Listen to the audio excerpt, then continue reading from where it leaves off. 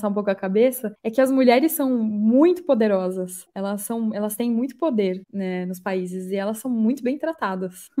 É muito legal. E aí, então, falando dessa jornada, então você conseguiu levantar o recurso, a, a Tutor ID conseguiu com esse recurso uh, con concluir ou tá a caminho de conclusão das coisas? Porque é que a gente vai começar a caminhar agora para o, o, que foi feito com o recurso e para onde vai no futuro, para qual a sua visão de futuro, para onde está indo a Tutor ID, para a gente começar a encaminhar as coisas. Sim, é, isso foi um dos meus aprendizados que eu tive só depois, eu percebi só depois. Você precisa de perspectiva perspectiva para entender como é que foi essa situação, como é, como é que eu levantei, o que, que eu fiz que foi um, um win, o que, que eu fiz que não foi. E um dos meus erros foi não ter pedido dinheiro suficiente, porque também estatística, eu sabia dessa estatística, eu falei assim, não, não é possível, que absurdo. As mulheres estatisticamente levantam metade do que elas estão pedindo. Eu não e tinha eu ideia de... disso, que loucura. E, e, eu tinha pedido aquilo que a gente precisava, e eu, e, e geralmente, eu li um livro sobre a diferença de homens e mulheres gerenciando a empresa. Geralmente as mulheres elas gostam de falar muito a verdade. E os homens, eles contam uma história bonita. Os homens conseguem até aqui de resultados, mas eles vão falar sempre até aqui. As mulheres falam, eu consigo até aqui, por isso que elas não são consideradas ambiciosas o suficiente, etc. É, e o mesmo com dinheiro. Os homens, às vezes, vão pedir isso de capital, porque eles estão prometendo isso. A mulher vai pedir menos capital e vai prometer isso, e ela sabe que isso ela vai conseguir fazer em termos de produto e tal. E, e o meu erro foi exatamente ser muito mulher nesse, nesse nesse aspecto e, e, já, e, mesmo sabendo dessa informação, fui de acordo com que a maioria das mulheres se comportam e eu pedi exatamente aquilo que a gente precisava para ter um bom crescimento e uma boa expansão para a próxima fase. E eu consegui levantar metade desse valor que a gente precisava. Nossa, bateu na estatística. Bati na, na estatística. estatística. Hum.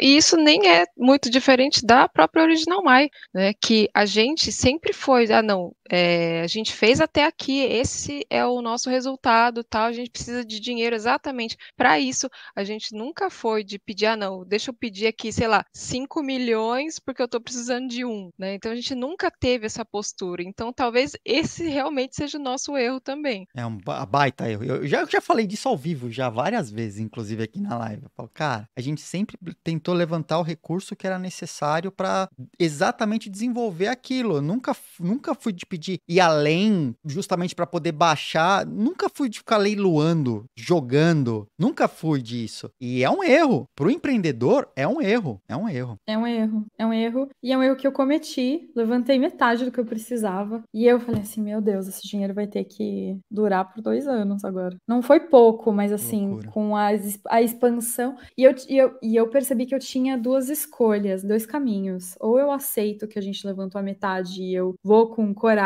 e, e vou com esse capital e vejo que eu consigo. Ou eu simplesmente simplesmente falo, a gente vai fechar a empresa porque a gente não levantou dinheiro suficiente e a gente não vai conseguir os resultados nem perto disso, então eu prefiro não continuar, não me sacrificar por causa disso. E tem várias empresas, inclusive empresas do Y Combinator, a gente precisa, sei lá, a empresa fala, a gente precisa de 5 milhões iniciais para construir. Aí, ah, tava faltando 800 mil para fechar, o... e algumas empresas falaram, então a gente não vai abrir, a gente não vai para frente. Olha só. Porque a gente vai, a gente vai precisar desse, desse, de todo esse capital. Então eu não aceitei fechar a empresa, eu falei, não, a hum. gente vai conseguir alguma coisa com esse capital. A gente vai ter que mudar o plano de, de, de expansão, vai ter que ficar mais lean. Mas não foi aquilo que os investidores tinham sido, né? Eles, eu tava vendendo X, e aí eu tive que mudar. E aí, claro, também porque eu sou mulher, aí, ah, ela já tá mudando de plano. Ah, e aí começa assim, você aceitar é, liderar uma empresa que levantou metade do capital que precisava, eu tava também colocando minha reputação em risco, porque o que eu tinha prometido eu nem ia conseguir cumprir, mas também porque eu não tinha levantado capital suficiente. Mas aí isso já mostra, ah, então porque você é incompetente, ou uhum. porque você. E aí tem um monte de coisa que eu decidi engolir algumas coisas que eu ouvi, ou alguns comentários indiretos de que eu fui incapaz de levantar mais dinheiro. É... E eu falei, bom, vamos ver o que a gente faz com esse valor e eu, a gente vai tentar por mais um tempo. Nem que a gente diminua nosso, nosso runway, a gente faça uma coisa mais agressiva para a gente chegar em, em algum lugar. E, e esse foi o caminho em que eu escolhi. Eu falei, então a empresa vai ter menos tempo de vida, mas a gente vai usar todo o capital que a gente tinha planejado para a gente ter um crescimento. E foi o que aconteceu. Não só a gente teve um time que estava trabalhando, era maior e estava trabalhando a todo vapor, e eu estava trabalhando a todo vapor. O que aconteceu é que o time ficou inteiro com burnout. Eu fiquei com burnout e, e aí a gente teve que desacelerar. Eu consegui fazer com que um time inteiro, de uma empresa inteira, e eu tomo responsabilidade disso. Todo mundo ficou com burnout. Eu, inclusive, né? Eu tava ali liderando pela é, eu estava mostrando para eles que era assim que se trabalhava. Então, como líder, isso é, foi uma realization, né? Foi um momento que eu tive que ter aquele hard look on the mirror hum. e falar: eu, eu fiz isso, eu fui responsável. Querendo ou não, isso é um problema de liderança, que foi um problema que eu tive, mas tudo ocasionado por essa situação de não ter levantado dinheiro suficiente, de não ter, é, de ter escolhido lutar e etc. Enfim, foram, são, foram os meus aprendizados, né? Então, assim, levante dinheiro suficiente. Se não, não, que isso não seja a custo da sua saúde, que apesar do time ter ficado burned out, o que eu fiquei foi um estado deplorável, assim, muito triste, como eu estava. E ninguém sabia, ninguém sabia, porque a gente, como líder, a gente não pode mostrar fraqueza. Pois é. Então, então zero, mostrando zero para as pessoas que eu tava completamente estressada e dormindo mal. E eu tava, eu brinco, né, que fazia maquiagem funerária, assim, né, porque eu estava morta, mas estava ali fingindo que estava viva. Porque olheiras profundas e, e, comendo mal e errado e pouco, às vezes muito, e enfim. Porque eu estava vivendo dessa forma, eu decidi é, olhar para a empresa, olhar toda essa jornada, tudo que aconteceu e, e algumas coisas estavam se encaminhando. Eu tava, tinha pivotado, eu tinha desen, redesenhado a plataforma toda assim. Na época ninguém estava falando do chat GPT, mas eu já sabia que a inteligência artificial ia aparecer para já na China faz tempo já estavam falando do AI Tutor, faz tempo, muitos anos já. É, então eu falei, é, a China já estão fazendo isso, uma hora vai vir para o resto do mundo, então eu já estava redesenhando a plataforma, levando isso em consideração. E a gente já estava é, falando de investimento de 400, de 400, de 14 e a gente estava muito próximo, eu já tinha olhado todos os meus erros, e eu falei, não, agora eu vou pedir dinheiro, eu tenho aqui esse novo produto, é como se eu quase estivesse recomeçando com a tutoria ID, mas uma versão pivotada, ia ser só celular, não ia ser mais desk. Ia ser diferente, diferente, diferente três modelos de negócios, super legal, meio TikTok, sabe? Uma coisa bem inovadora, muito legal. E a gente estava muito próximo de fechar uma rodada de investimento, mas eu estava com um burnout tão, tão forte que eu decidi escolher a minha saúde. Entendi. E foi aí que eu decidi olhar todo o produto, olhar toda a trajetória da Tutor ID, e eu falei, eu acho que esse produto que tem hoje é muito robusto, muitas empresas hoje se beneficiariam dessa solução que a gente fez. Atende muito, né? Atende, atende muito. Atende tem... muito. Exato. E aí a minha minha decisão foi é, passar a empresa para frente. E foi uma decisão assim, eu, eu, eu tive que escolher de novo, né? É, eu, eu tô sempre entre duas grandes escolhas, né? E eu, eu tô tão perto de levantar, acho que a maior rodada de investimentos da minha vida. E, e eu não sei se eu vou ter fôlego para mais sete anos, é. para mais dez anos disso. E se isso valeria a pena. Vale a pena? Eu, eu olhei para trás, foram, foi quase uma década que eu fiquei envolvida na empresa. Eu tô pronta para ficar mais uma década envolvida na empresa empresa, dentro desses termos que eu sei que é, um, é, é, uma, é, muito tóxico o meio de startups. Então, como eu sou um pouco. Eu gosto muito de impacto, eu quero agora causar impacto de uma outra forma é, e ajudar fundadores, é, possivelmente no futuro investidores também, que serão, né? Esses fundadores serão futuros investidores a serem.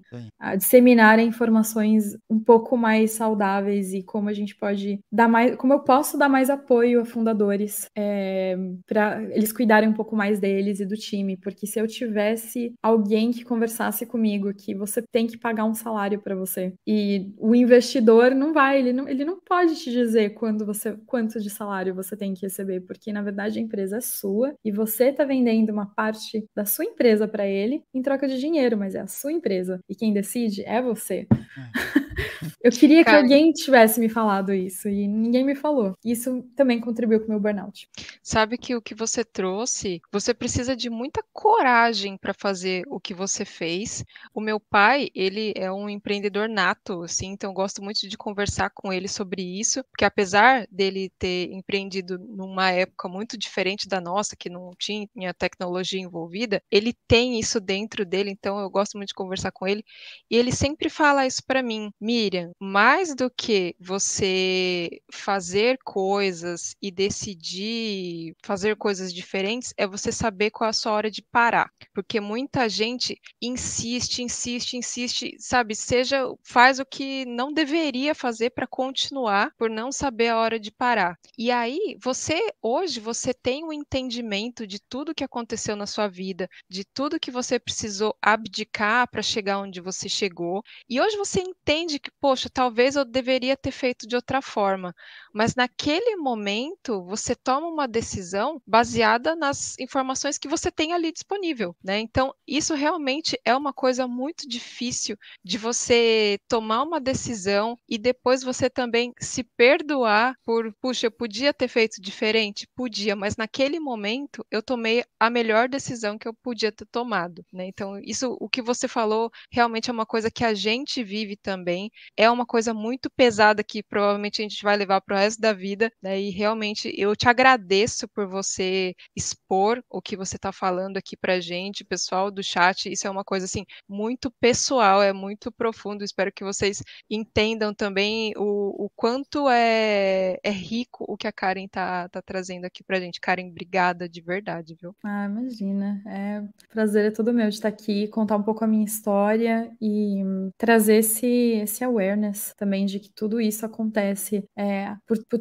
por detrás do glamour, né? Já saí na Forbes, já saí na CNN, já saí na Forbes duas vezes, né? É, Jovem Pan, e apesar de todo esse glamour e que as pessoas só veem aquilo, né? Ah, a Tutor ID escalou para 120 países, né? Por detrás de toda essa métrica, teve um sofrimento muito grande. Foram, sei lá, mais de 2 mil investidores que entrei em contato. Foi assim, é uma coisa assim tão maluca e tão assim, falei, uau, é, para chegar a isso eu tive que trabalhar tanto e errar tanto. E, tem coisas da, da, indústria que são muito tóxicas e que precisa, alguém precisa falar sobre isso. Começaram a emitir agora salários base para fundadores, dependendo do estágio da empresa, porque não a gente não pode também mais glamorizar a pobreza do, do founder, porque a gente precisa de saúde mental, a gente precisa pensar no nosso curto prazo também, não só no longo prazo, que isso é uma técnica também que esses conteúdos que a gente lê na internet, né, que talvez funcionava nos anos 90, mas a gente não tá nos anos 90, né? É, Exatamente. Antiga, antigamente era bem mais amador, experimental a internet, e hoje em dia tá tudo muito organizado e o mundo virtual é, tá muito mais é,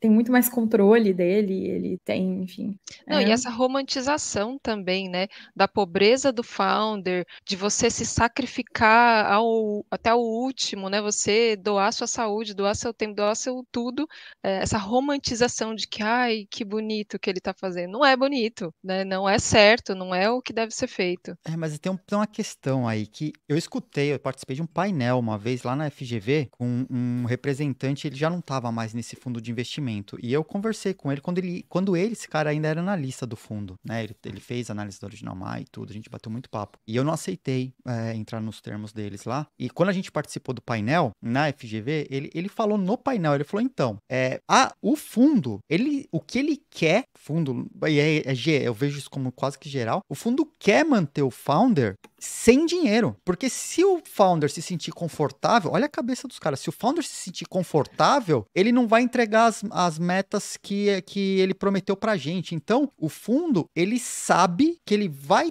que o founder só vai ter dinheiro para pagar a próxima refeição e que ele vai fazer o founder ficar nesse ciclo correndo sem dinheiro o tempo todo para aumentar a performance. Eu achei aquilo de um absurdo tão grande. É, até o founder ter um burnout e acabar com tudo. Né? É desumano, exato. Começaram a. Começaram, né? O primeiro artigo que eu li em relação a isso, vindo do, dos Estados Unidos, do ecossistema americano, foi. Uh, em feve... Não em fevereiro, desculpa. Foi em julho desse ano. foi nem em fevereiro, foi em julho, em que os investidores agora estão entendendo mais a importância de você cuidar dos fundadores. É, e agora foi lançado esse salário base, e eu percebi que eu não estava me pagando nem um terço desse salário base para o nível mais, o estágio mais baixo de uma startup. Depois manda pra gente que eu quero saber também. É, manda pra gente, porque por sinal original, mas a gente sim. não chega nem no salário mínimo, tipo, de, tipo 10 partes de um salário mínimo aqui da Estônia. Tipo, é, é só para então, comprar comida e ainda falta no fim do mês. Então, esse, esse tipo de coisa começaram a falar sobre, e eu quero fazer parte dessa onda de pessoas que estão falando sobre isso. É, eu não quero virar coach de. Enfim, existe preconceito com a palavra coach, né? Acho que mais no Brasil do que no restante do mundo. É, mas eu não quero virar o coach ou influencer de forma alguma de, de comportamento, nada disso, mas eu, eu quero dar dicas mais palpáveis, que eu sou bem uma pessoa prática, né? Como é que o fundador pode ter uma vida melhor e crescer a sua empresa, por exemplo, é, criar uma semana de quatro dias, porque como a gente trabalha, como o fundador e o time que trabalha numa startup, né, o time core, né, que eles chamam, é, trabalha com, uma, com muita pressão, eu não acho que a gente precisa de apenas, eu não acho que dois dias a gente consegue descansar. Eu acho que a gente precisa de pelo menos três dias de descanso absoluto para depois ter uma produtividade absoluta nos primeiros dias da semana. E porque eu não sei vocês. Nem tem os dois dias. A gente não tem dois dias de descanso. A gente então, fica de segunda a segunda e, e dorme e, quando dá. E... Ai, eu preciso conversar. Vamos tomar esse café. Vamos. Vamos tomar Ensina um café. Aqui. Porque é, a minha vida mudou quando eu comecei a ter fim de semana. É, é, eu acho que isso é essencial para a gente ser gentil com a gente mesmo. Porque o time de vocês trabalha sábado e domingo? Não, não, não, não é lógico. Não, né? Eu acho que vocês têm que ser gentis com vocês, o quanto vocês são com, com o time. Se vocês, sabe, se ele trabalha junto com o time, descansa junto com o time, é, a, a liderança se cobra muito. Eu sei que todo mundo bate na liderança, né? Todo mundo odeia o chefe ou odeia o CEO, porque, enfim, parece que é, é comum, é senso comum, né? Que você odeia o chefe porque o chefe vai te cobrar e tal. É, mas os chefes se cobram muito, é, pra, porque tem muita responsabilidade, né? É, pro, pro, pro CEO. A gente está segurando uma empresa, a gente não quer demitir ninguém, nós somos responsáveis pelo, por empregos e famílias de não sei quantas pessoas, e, e a gente sente essa pressão, mas é muito importante que o descanso venha para a gente ser melhor, melhores líderes, líderes mais descansados e mais produtivos. Então, o que eu estou fazendo agora é isso, é consultoria. É, eu quero crescer muito essa consultoria, né? Aquelas cabeça de startup, né?